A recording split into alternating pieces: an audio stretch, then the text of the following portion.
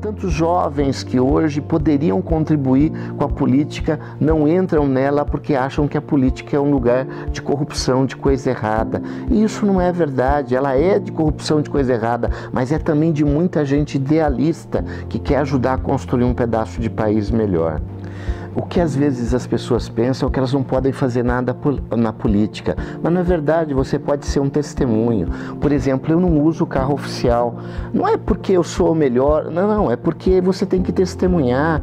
É, eu tenho meu próprio carro, eu não preciso de um carro oficial, eu não preciso ser diferente de ninguém. Eu represento pessoas simples e eu preciso viver dessa forma. Eu poderia usar 300 mil de verba de gabinete o ano passado, usei 8 mil reais, que é para comprar equipamento do escritório, pagar telefone. Por quê?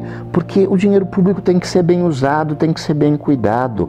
A política não pode estar a meu serviço, ela tem que estar a serviço das pessoas.